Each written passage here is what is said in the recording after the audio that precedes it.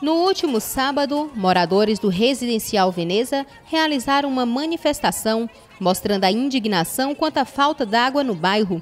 Segundo informações, todo esse mês de agosto, os moradores vêm passando por esse problema, em que somente algumas vezes à noite vai água para algumas casas.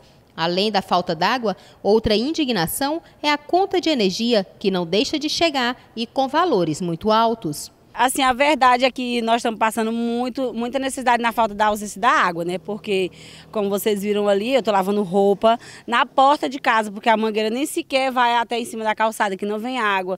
Eu arrisco a minha vida de madrugada lavando roupa, como vocês viram. Eu fico até uma e meia da manhã, às vezes eu tenho que acordar quatro horas da manhã para poder lavar roupa, para poder pegar água. E o carro-pipa veio uma vez, a água dele não é própria para beber, nem para fazer comida. Então a reclamação é essa. Nós não não está zangado, não é porque está o problema da água, mas sim a cobrança. Como é que a gente vai pagar uma coisa que a gente não tem? Né? A porque... conta de água continua vindo. Ah, a conta de água com certeza vem, né, filha? E se nós não pagar, eles vêm e cortam. Aí não tem de jeito nenhum, nem a gotinha, nem a gotona, nada. E é alta a conta? Muito alta. A minha mesmo, eu tenho um talão de 300 reais. Dois, tô devendo dois talão atrasado e, e veio cobrando nenhum 300 reais. E o que, que eles falam na questão da vinda da água? Já tem previsão? Mulher, ele, ele, na última vez que eu falei com ele, foi o dia que ele deixou água aqui, quinta-feira passada, do carro-pipa, ele falou que vão continuar trabalhando, mas não sabe quando vai resolver. E aí fica como a nossa situação. O talão então tinha que parar de vir, né? até resolver a situação, porque como é que nós vamos pagar uma coisa que nós estamos arriscando a nossa própria vida de madrugada, do jeito que estão tá as coisas hoje em dia perigoso, para poder conseguir água, pelo menos para manter quem tem criança em casa. No bairro tem dois poços de água mas mesmo assim não está sendo suficiente para abastecer as moradias do residencial. Quando começa o verão, aí já vem esse problema da falta de água. Da inconstância que a gente fala, né? Porque em algumas casas até que enche a caixa e tal, mas em outras casas já não enche. Ou quando enche, aquela água não dá para passar o dia, é, o dia todo, não dá suficiente para você fazer todas as necessidades durante o dia. A escola também estava sem água desde a semana passada, dificultando assim a permanência dos alunos no âmbito escolar. Tenho filho estudando desde o segundo dia de aula presencial que não tem água. A partir do segundo dia de aula presencial, que agora está no ensino híbrido, é, já estavam dispensando as crianças 10 horas da tarde pela manhã e 3 horas da tarde pela tarde, porque não tem, não tem condição das crianças ficar na escola sem água. Como é que vão higienizar as mãos numa pandemia que ainda estamos sem água, né? Aí está essa situação que a gente exige né, das autoridades que resolvam. Né? Foi feito um protesto esse final de semana, surtiu um pouco de efeito, eles estão lá trabalhando, né? E estamos aí aguardando, ver se consegue resolver essa situação. Mas até agora continuamos na mesma. Hoje pela manhã, na frente da escola, estava a equipe do SAI, que estava tentando resolver o problema da água no local. Ao sairmos do bairro, a equipe deixou a água da escola funcionando. Fomos também ao SAAI conversar com o diretor José Roberto, que nos passou informações sobre a problemática de quase todos os bairros da cidade em relação aos poços. Nós estamos passando por um momento de estiagem, um momento de escassez de água, que não é só aqui em Balsas. Vocês possam observar nos noticiários, é em todo o Brasil e em todo o mundo. Mas principalmente aqui em Balsas, o que, é que está acontecendo? Nosso sistema, todo nosso sistema, nós preparamos para que esse verão fosse o mais tranquilo possível. Nós instalamos equipamentos novos, bombas com maior capacidade de bombeamento para esse momento de verão. Mas nós fomos surpreendidos pela capacidade inferior dos poços, ou seja, todos os níveis da maioria dos nossos poços baixaram consideravelmente.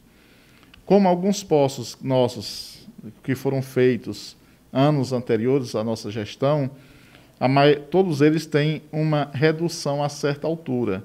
Então, o equipamento já chegou nessa, nessa redução. Então, a exploração já está limitada. Eis o motivo da questão do CDI está com dificuldade hoje, porque o, o poço ali do CDI, onde tem aquela caixa d'água grande, ele produzia antes 80 mil e está produzindo hoje apenas 53 mil litros. Né? Então foi uma queda bem grande. O poço lá do Emerson Santos também está com a capacidade é, é, é, muito reduzido em relação à produção dele. O poço do Potosí, nós vamos ter que mexer nele amanhã, porque ele produzia uma quantidade relativamente que dava para atender o bairro, hoje ele caiu. Então temos que é, instalar um novo equipamento para ver se a gente consegue aumentar em 10 mil litros por hora.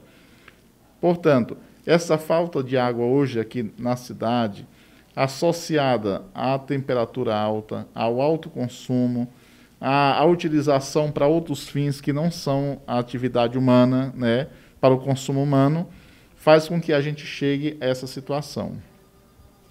Nós não estamos ainda em questão de manobras, mas nós somos obrigados a fazer, que é a questão ali do CDI com São Francisco e Potosí, para que todos possam receber água, né, e tenham os seus reservatórios. O diretor falou ainda o porquê da conta de água dos moradores do residencial Veneza ser um valor mais alto.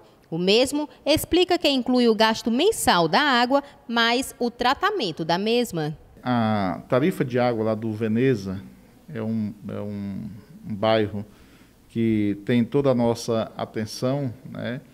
É assim, como tem uma estação de tratamento de esgoto, tem a tarifa de água. Um exemplo, se a tarifa for R$ reais o valor do consumo de água, ela, ele vai pagar mais 40 do tratamento de esgoto, então ele vai para 80, né?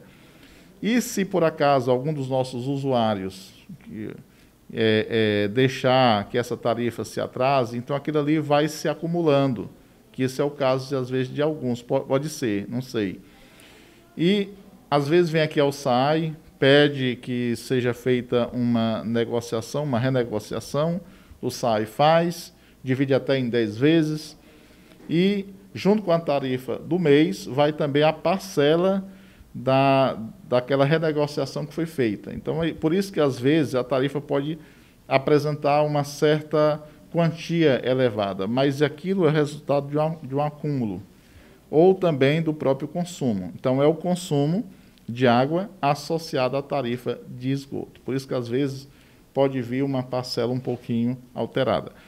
Mas aqui nós sempre estamos à disposição para receber a todos, para conversar e procurar os melhores meios para que os nossos usuários possam solucionar seus questionamentos e as suas dificuldades.